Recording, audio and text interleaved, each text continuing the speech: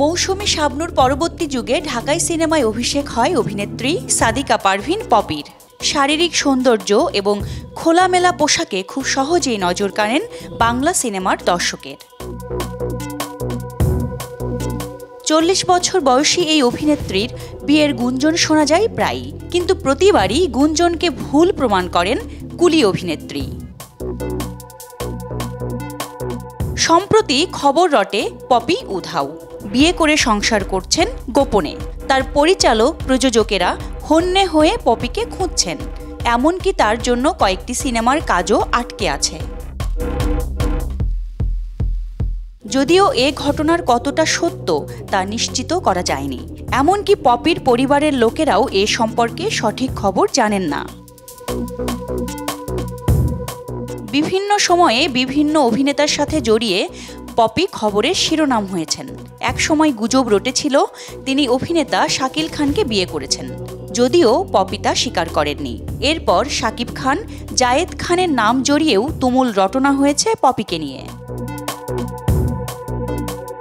Poppy স্বীকার না করলেও জায়েদ খান বিভিন্ন সাক্ষাৎকারে স্বীকার করেছেন পপির সাথে তার সম্পর্ক ছিল। যদিও একটা সময় সে সম্পর্ক ভেঙে যায়। তবে সবার একটাই প্রশ্ন, কোথায় আছেন, কেমন আছেন, পপি? উত্তরে পপি জানিয়েছেন, কিছুটা নিজের মতো করে থাকার জন্যই সব ধরনের যোগাযোগ ও সংযোগ থেকে দূরে আছেন তিনি। ভালোবাসার প্রজাপতিতে সর্বশেষ দুই হাজার বিশ এর জুনে কাজ করেন পপি। ছবিটির প্রায় বিশ শতাংশ কাজ এখনও বাকি। তার সহকর্মী ও ভক্তদের প্রত্যাশা। জাতীয় চলচ্চিত্র পুরস্কার জয়ী এই অভিনেত্রীর জীবনে যাই ঘটুক না কেন, তিনি শিগগিরই ফিরবেন সবার মাঝে। করবেন সব জল্পনা কল্পনার অবসান। সাদিকা পারভিন পপির জন্ম উনিশশো উনআশি সালের দশ ডিসেম্বর খুলনাতে।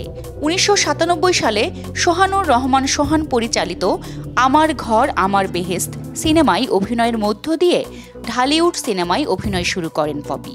কিন্তু তার মুক্তিপ্রাপ্ত প্রথম সিনেমা কুলি। মন্তাজুর রহমান আকবর পরিচালিত এ সিনেমা সাত কোটি টাকা ব্যবসা করে রেকর্ড করেছিল। এরপর আর পেছন ফিরে তাকাতে হয়নি তাকে। তারপর শাকিল খান, রিয়াজ, মান্না, রুবেল, শাকিব খান সহ জনপ্রিয় নায়কের সঙ্গে জুটি বেঁধে অভিনয় করেন এই নায়িকা।